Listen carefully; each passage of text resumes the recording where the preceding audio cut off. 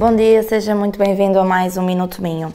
O grande destaque do jornal de hoje vai para a Cerci de Braga, que inaugurou ontem, com a presença da Secretária de Estado para a Ação Social e Inclusão e do Presidente da Câmara Municipal de Braga, um jardim sensorial e terapêutico em ligação com a natureza destinado aos seus utentes e à comunidade. E na região, a Câmara Municipal de Faf, que reabilitou o antigo armazém de mercadorias da desativada estação ferroviária para instalar a Estação Memória. Trata-se de uma nova infraestrutura cultural da cidade que mostra em três carruagens a história, o património e o turismo do Conselho.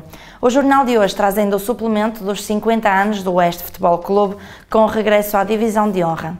São estes os destaques de hoje. Continue connosco ao minuto nas nossas redes sociais em diariodomingo.pt ou com a nossa versão impressa que está disponível no quiosque mais próximo de si.